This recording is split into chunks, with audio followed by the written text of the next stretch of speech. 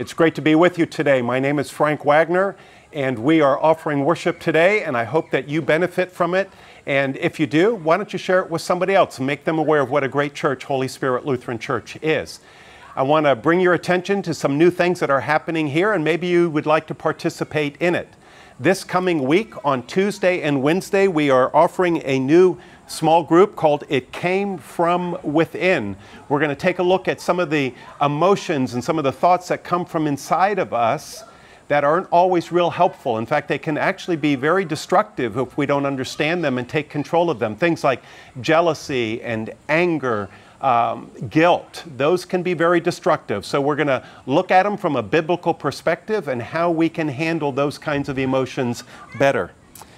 Also, another small group is going to be offered. It's called You Drive Me Crazy. Uh, Jamie Johnson's going to offer that small group on Wednesdays starting June 23rd, 6:30 p.m. Everyone's invited.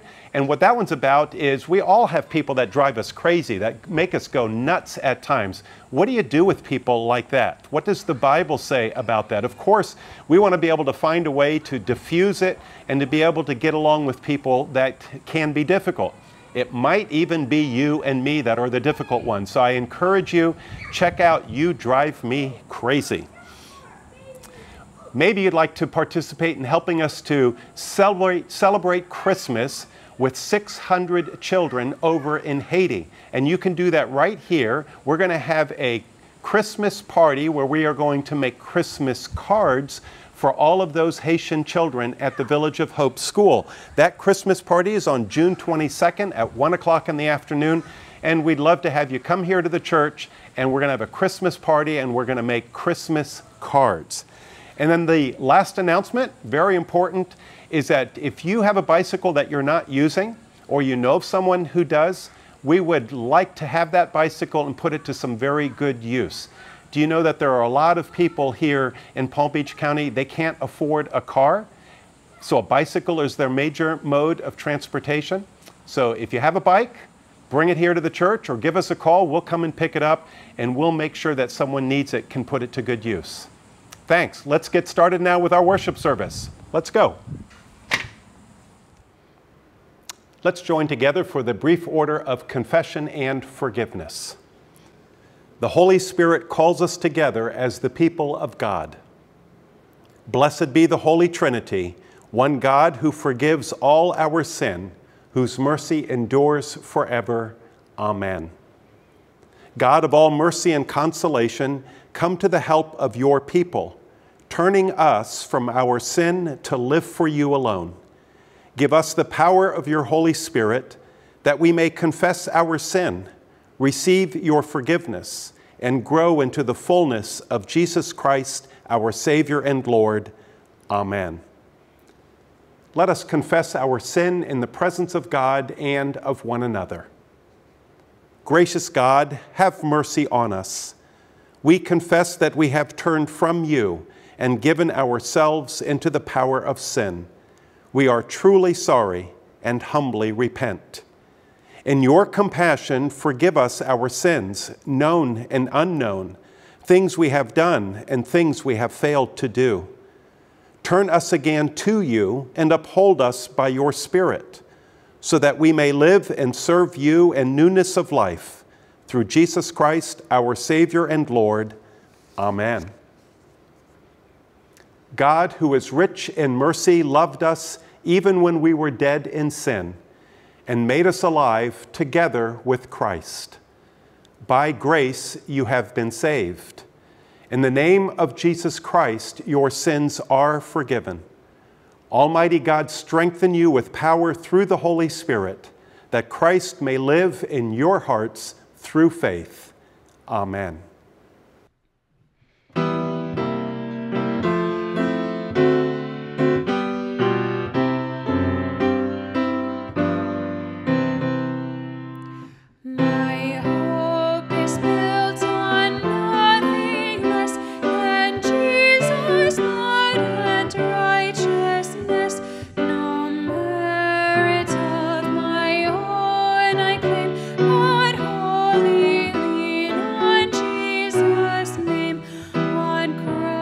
expressão.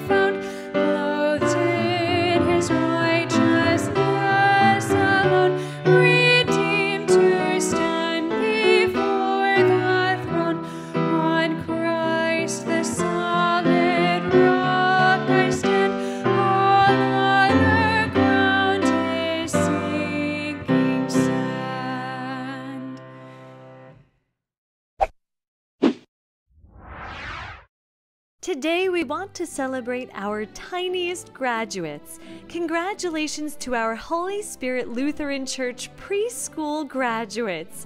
We wish you the very best of luck next year as you enter elementary school. We're so very proud of you. Well, as everyone knows, we are in the season of graduations, and there is no graduation closer to my heart than to be able to watch our preschool children graduating from VPK. Uh, those beautiful five year old children uh, touch my heart every time. So I want to thank the people of Holy Spirit Lutheran Church for providing us with this preschool ministry.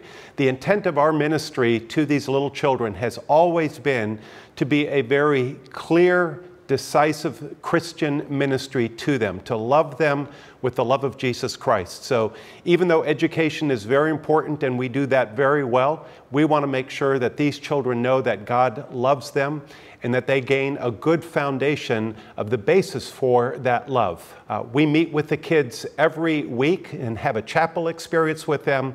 Uh, they learn uh, songs about the love of Jesus Christ. Uh, they learn scripture verses as well. They learn how to pray. So they are surrounded by the love of God in their week long experience here in our preschool. So, people of Holy Spirit Lutheran Church, you are making a difference in these young lives here in our community. Thank you.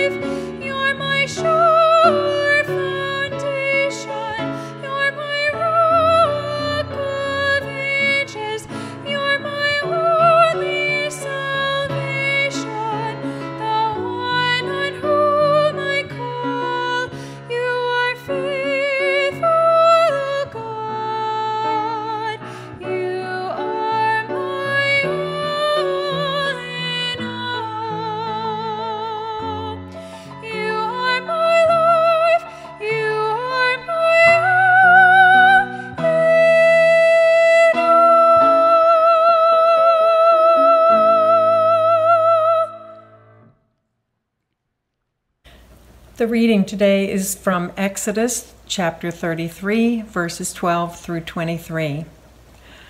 Moses said to the Lord, See, you have said to me, Bring up this people, but you have not let me know whom you will send with me. Yet you have said, I know you by name, and you have also found favor in my sight. Now, if I have found favor in your sight, show me your ways so that I may know you and find favor in your sight. Consider too that this nation is your people. He said, My presence will go with you, and I will give you rest. And he said to him, If your presence will not go, do not carry us up from here. For how shall it be known that I have found favor in your sight, I and your people, unless you go with us? In this way we shall be distinct I and your people, from every people on the face of the earth. The Lord said to Moses, I will do the very thing that you have asked, for you have found favor in my sight, and I know you by name. Moses said, Show me your glory, I pray. And he said, I will make all my goodness pass before you, and will proclaim before you the name the Lord and I will be gracious to whom I will be gracious, and will be show mercy on whom I, sh- I will show mercy. But he said, You cannot see my face, for no one shall see me and live. And the Lord continued, See, there is a place by me where you shall stand on the rock, and while my glory passes by, I will put you in a cleft of the rock, and I will cover you with my hand until I have passed by. Then I will take away my hand, and you shall see my back, but my face shall not be seen. This ends the reading. Good morning. Please pray with me. God, we are grateful for all the ways that you grow our faith and that you don't leave us stagnant. We'd ask that you would help us to recognize significant events in our lives in which you intervene and you cause growth in us and help us to give thanks for those moments. We ask this in Jesus' name. Amen. We are continuing our sermon series on how God grows faith.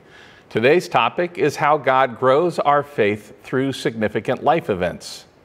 I doubt that this is news to many of us. The birth of the first child is often such an event. That moment when you are present for new life, he or she being placed in your arms or on your chest, perhaps you still tear up thinking about that. Contrastingly, a death of someone close to you can also be such a time. It causes us to think about our own mortalities and stirs up questions we've preferred to keep at bay about our finitude and frailty a health event, a cancer diagnosis, a heart attack, a stroke, any can force us to dig deep into what we really believe about God's presence and or absence in our lives. Significant events force us to take seriously what we believe about God and causes us to wrestle with how much we truly trust God, particularly when it's a challenging life event. I hope it doesn't surprise you that Scripture supports the idea that God grows faith in significant life events. We'll drill down into a few particulars, but I want to start with something that I think best summarizes this teaching technique of God's using life events. It's the reading we just read from Exodus. Moses has just led God's people out of slavery in Egypt. The plagues, the Red Sea crossing, the manna in the desert, and water from a rock, I'd say a pretty significant life event. I'd think Moses' faith would have grown a bit. And still, still, he makes this request of God to see his face. And God responds, I will make all my goodness pass before you and will proclaim before the name the Lord and I will be gracious to whom I will be gracious, and will show mercy on whom I will show mercy. But, he said, you cannot see my face, for no one shall see me and live.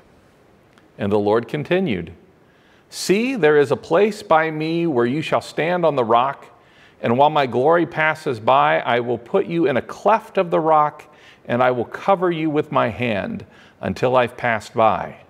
Then I will take away my hand, and you shall see my back, but my face shall not be seen. This is how I understand what God is telling Moses and us. You probably won't see God coming at you, but you will know when God has been there. As a significant life event is approaching, you probably won't say to yourself, I believe this thing that is starting is going to be significant. But once you're in the middle of it or it has happened, in hindsight, we are finally able to see how significant that event truly was. The new job you started. Would you have realized at that moment that one day it was instrumental in you starting your own business? When you were on the bus to Luther Rock, would you have realized at that moment that one day your Luther Rock experience changed your life for the good? One of the significant life events for me that has continued to shape my faith to this day happened 26 years ago at my ordination at the seminary in Columbus, Ohio. Maybe that doesn't surprise you that his ordination day would be significant to a pastor, but mine happened in an odd way. I had done my internship in Orange Park, Florida, a suburb of Jacksonville. I had a wonderful year with that congregation. That congregation called me a year later to serve as their associate pastor. I asked my supervising pastor, Dave Winter, if he'd come up from Florida to Ohio and be part of my ordination service, which was a few months before I would start my call as associate pastor. And of course, he agreed, and I was excited. So the day of my ordination arrived. I was busy making sure everything was just right. My family was trickling in, food was arriving, worship participants were showing up and needed to be rehearsed for their roles. People from my home congregation in Northwest Ohio were starting to roll in. I was scurrying all around the chapel. And then I noticed a couple from Orange Park I'd been close to. They surprised me by coming up for my ordination. I only had a couple of minutes to chat with them and thank them. After all, I was busy fussing over things. A few minutes after that, another family from Orange Park showed up. They too came to surprise me, saying that they had already planned to be vacationing in the Midwest and just added this stop to their itinerary. Again, I had a couple minutes to chat and thank them, but I was busy you know? This scenario happened one more time. I just couldn't believe that these people had taken this much time and made this kind of effort to come from Florida and celebrate this day with me. About 15 minutes before worship was to start, I went into the sacristy to get my robe on. The sacristy was about the size of a classroom, so there were a few of us in there getting ready. This room had a window that overlooked the seminary parking lot. A couple minutes after I stepped inside the sacristy, as I'm putting on my robe, my supervising pastor, Dave, came up next to me and said, I think you should take a look out in the parking lot. And I turned to look out the window, and there in the parking lot was a tour bus spilling 40 more people from that congregation in Orange Park, Florida. 40 people who had taken time off work, riding 800 plus miles on a bus, just to come and celebrate the ordination of their new pastor. I did not see that coming. How could I have imagined something like that when I invited Dave to come be part of my ordination? I think back about that day a lot, particularly when there are trying days as a pastor to think about how that congregation offered such an outpouring of love just because. To think about how God has given me so many gentle and not so gentle affirmations along the way. Formatting like that at the beginning of my ministry as to what God's people are capable of. It's crafted a vision for me of what congregations can be like. But it was hard to see that vision until it happened, until God had been there and passed by on a bus. Hindsight shaping my foresight. That's what I think significant events do for our faith. With those significant experiences, we see how God has worked, how God can work, and it gives us something to lean on when we face the next situation that will require our faith and trust for God to be who God says He will be. And we know that difficult experiences shape us as much, if not more, than pleasant ones do. In fact, as a pastor, I often hear people talk about how much they learned and grew from challenging significant events in their lives. Seldom do I hear them say that of easy times in their lives. And the Bible is full of those stories too. The first Bible story that comes to mind for me about that is the story of Joseph in the Old Testament. His story begins in Genesis chapter 37. You may recall that Joseph was one of the youngest of 12 brothers. He shared with them that he had had a dream where he ended up ruling over them. And you can imagine how well that went over. They already didn't care for him because he was their father's favorite. The dream was the tipping point. And as you may remember, the brothers sold Joseph into slavery. I'd say this was a terrible, significant life event. There's a lot that happens between that point and the end of the story that I'm jumping to. Joseph has ended up as Pharaoh's right hand man. A series of events elevated him to this powerful position. And because of his position, he was able to save his brothers and their families from famine. And the story with Joseph ends this way The brothers are worried that Joseph will attempt revenge on them. And he responds, Even though you intended to harm me, God intended it for good, in order to preserve a numerous people as he's doing today. Joseph speaks with a grown faith, a matured faith a faith that saw how God turned something horrible into something beautiful.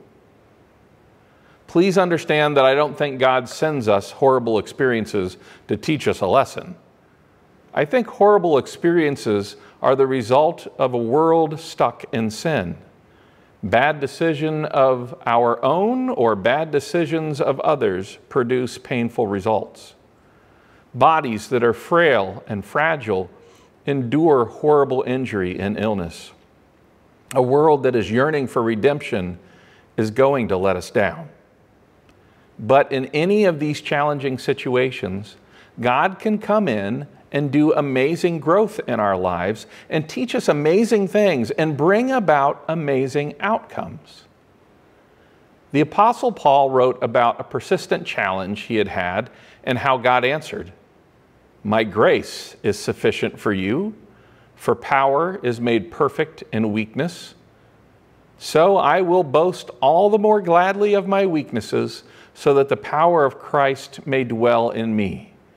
Therefore, I am content with weakness, insults, hardships, persecutions, and calamities for the sake of Christ.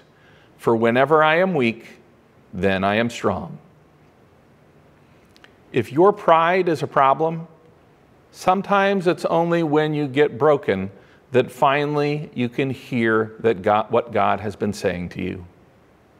When we are finally brought to our knees, God can show us we only walk forward because of Him. The book of James begins My brothers and sisters, whenever you face trials of any kind, consider it nothing but joy because you know that the testing of your faith produces endurance, and let endurance have its full effect, so that you may be mature and complete, lacking in nothing. James understands challenges as opportunities. Through them, we can be matured and grown. We can develop endurance for all the good and all the bad that will come.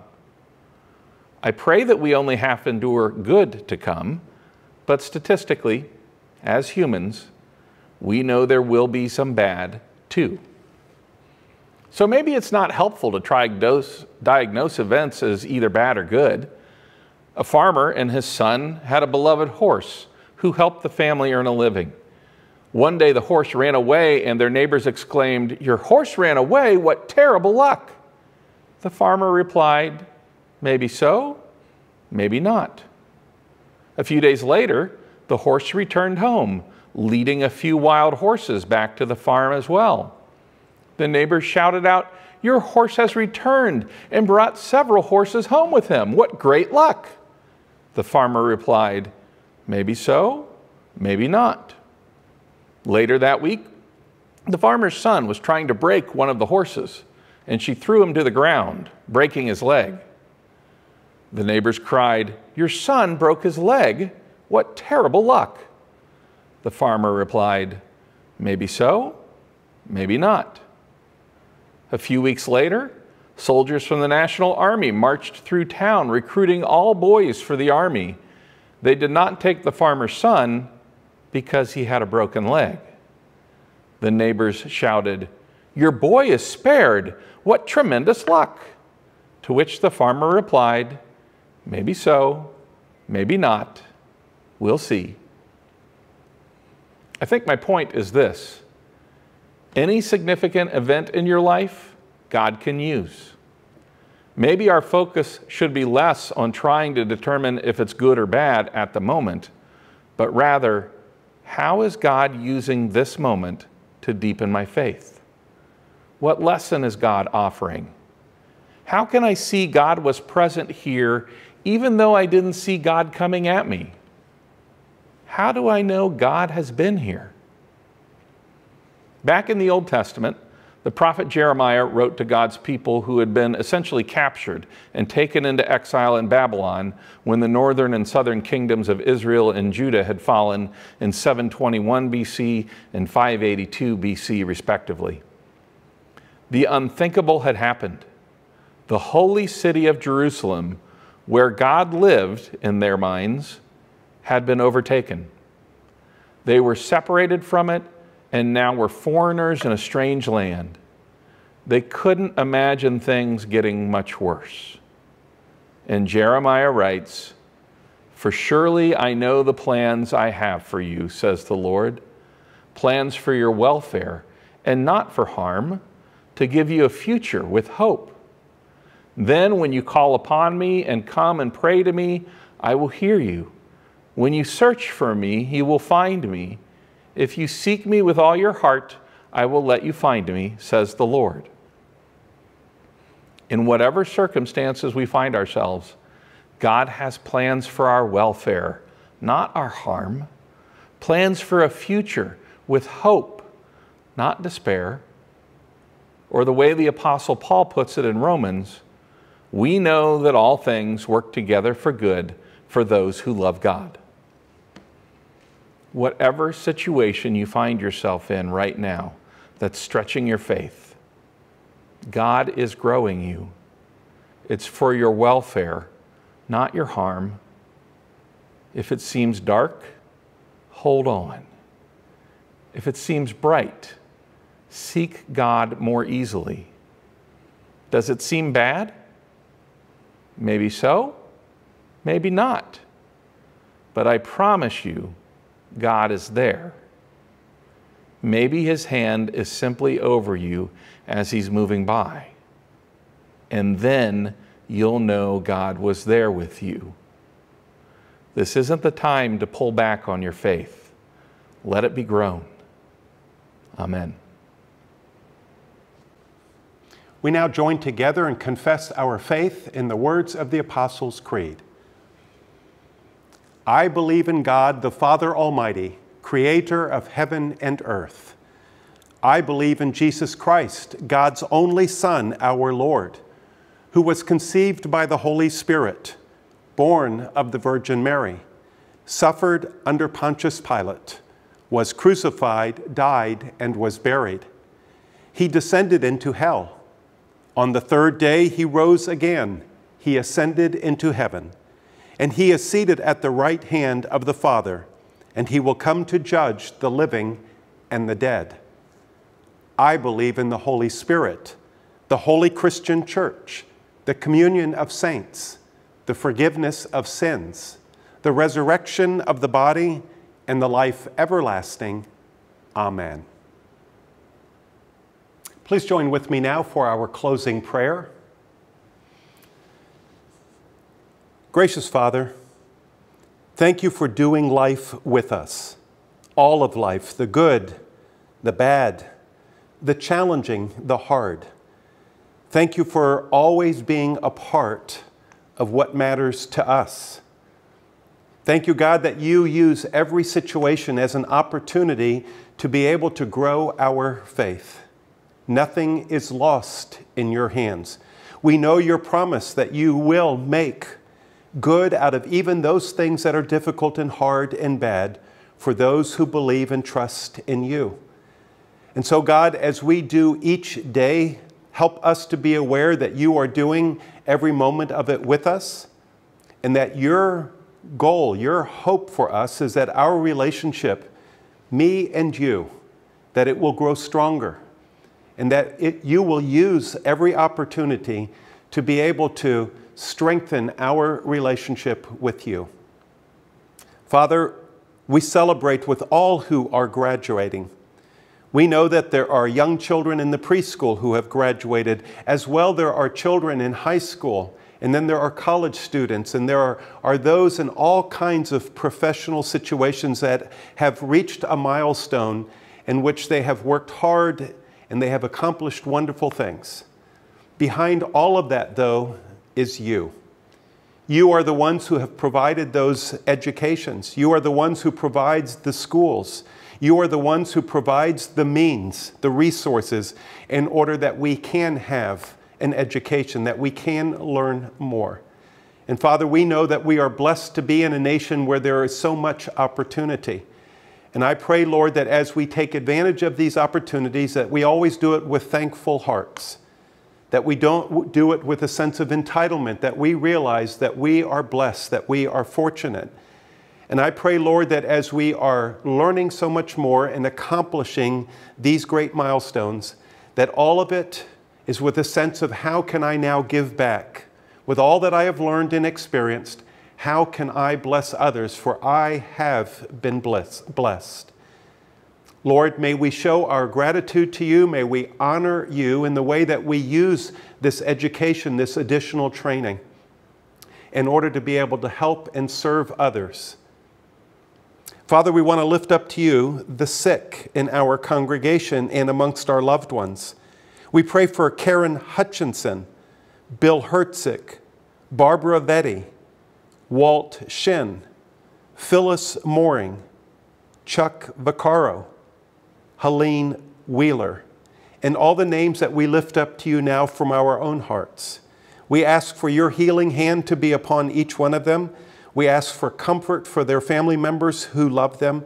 We ask your guidance for the medical teams who are responsible to them. Lord, it is our prayer that you make them well, but you know in your perfect will what that looks like. And so we seek your will to be done in each situation. We pray for those who are grieving, especially for the family of Maxine Richardson, who passed away this past week. We ask, Lord, that you bring comfort, that you bring a sense of joy, Christian joy to their hearts, knowing that Maxine has now received her eternal reward and lives in heaven with her Heavenly Father. All these things we pray in the name of Jesus Christ, who taught us to pray Our Father, who art in heaven, hallowed be thy name. Thy kingdom come, thy will be done on earth as it is in heaven. Give us this day our daily bread, and forgive us our trespasses, as we forgive those who trespass against us. And lead us not into temptation, but deliver us from evil. For thine is the kingdom, and the power, and the glory, forever and ever. Amen. Receive now the benediction. May the God of all grace, Father, Son, and Holy Spirit, bless you now and forever. Amen.